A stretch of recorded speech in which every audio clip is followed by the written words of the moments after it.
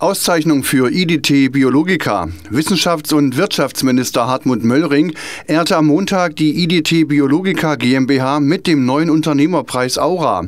Mit dieser Auszeichnung für herausragendes unternehmerisches Wirken in Sachsen-Anhalt würdigt das Ministerium für Wissenschaft und Wirtschaft Firmen, die neue Wege gehen, querdenken, Bestehendes hinterfragen, innovative Produkte entwickeln und erfolgreich auf den Markt bringen. Der Preis wurde zum vierten Mal vergeben. Die die IDT Biologica GmbH entwickelt und produziert Impfstoffe und Pharmazeutika im Bereich der Humanmedizin und Tiergesundheit. Das Unternehmen beschäftigt insgesamt 1150 Mitarbeiter und unterhält Vertriebsniederlassungen in sechs europäischen Ländern.